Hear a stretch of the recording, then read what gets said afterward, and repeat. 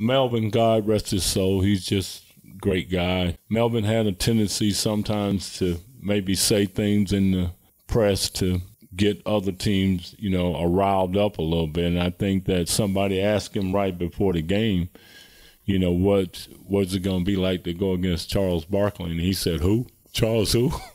so that immediately, you know, that kind of created a controversy, and I think that got back to Charles a little bit. So Charles was the one guy that could always get on under Melvin's skin. Going into the ball game, you know, uh, we're out there warming up, and I guess Melvin goes up to one of the coaches or something and said, "Hey."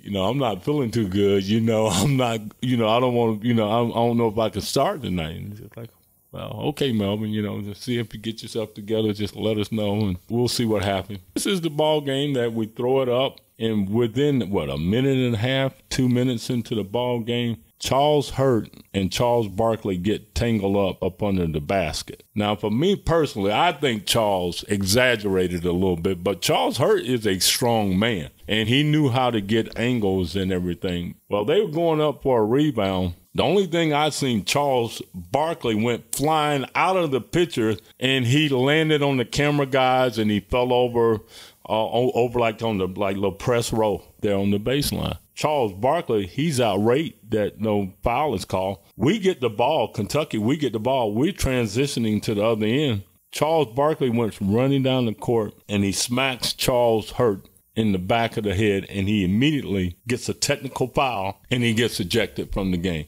two minutes in. Needless to say, you know, we're we're happy to get him out of the ball game, but nobody's more happy than Melvin Turpin. All of a sudden, he's up off the bench and he's he's feeling good now.